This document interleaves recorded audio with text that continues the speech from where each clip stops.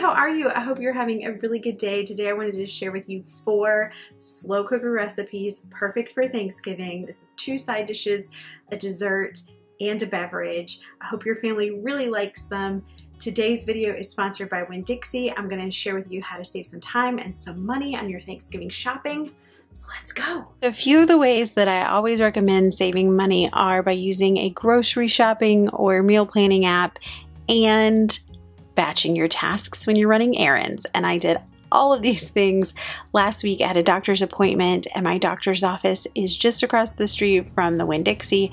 So I ran in. All the food from this video I purchased from Winn-Dixie and I used their app to save money and save time and I will tell you about that throughout the video but let's get started on our first recipe. So the first thing I'm making is better than pot roast vegetables.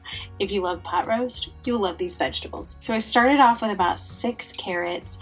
I peeled them and chopped them and put them in my slow cooker. Next, I added in some parsnips. I just peeled them and roughly chopped them and threw them in on top.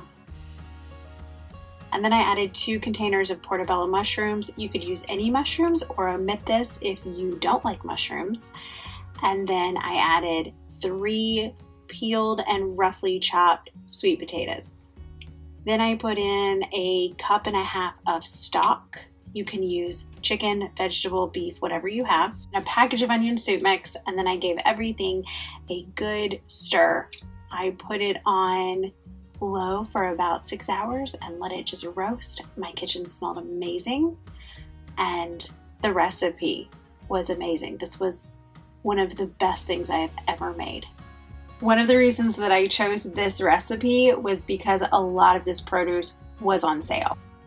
They have this feature where you can shop the weekly ad and then you can pair it with any coupons that the app offers you. When grocery shopping, I always say start with what you have first and then go to the weekly ad. Dixie is also about to launch their shopping list feature, which will allow you to make various lists inside the app and will just make your shopping experience that much smoother. Okay, my next recipe is garlic parmesan mashed potatoes in the slow cooker. I started off with about two pounds of just regular potatoes, any kind you have. I actually have a couple of varieties in here. I washed them, peeled them, chopped them, threw them in there, and then I added in one cup chicken broth and one stick of butter. I never said this was to be healthy cover and then I let cook on high for about two hours. Then I added in a cup of sour cream, two tablespoons of garlic, and a little bit of Parmesan. I didn't even measure it. I think this is about half a cup. And then I stuck my immersion blender in there and blended it all up.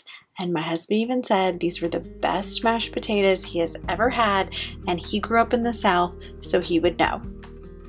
Now, their app is also like a rewards card, so you accumulate points for each one of your purchases and you can use those points for money off of your groceries. And they also have the deal of the week every Wednesday. There are amazing offers on special items in the store, and when you buy these, you get extra points to use towards groceries. So have a mystery bonus so that when you spend $30 or more in a single transaction, you get a mystery bonus in your wallet section of your app and you can redeem that later Often it is multiplied points, which just allows for extra savings. Okay, so my next recipe is a slow cooker apple crisp. My kids thought it was so funny that I cooked a, as they called it, pie in the slow cooker. But I started off with about five Honey Crisp apples. You could also use pie filling. Any sort of fruit would work for this. If you have some apples that are mealy, that would work too.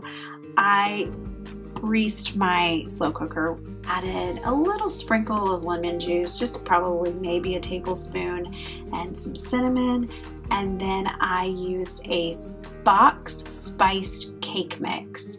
I added in probably two cups of oatmeal, a stick of butter.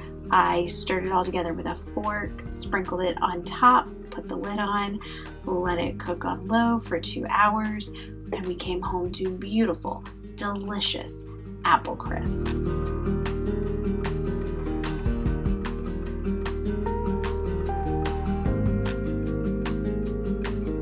My final recipe was a crowd pleaser.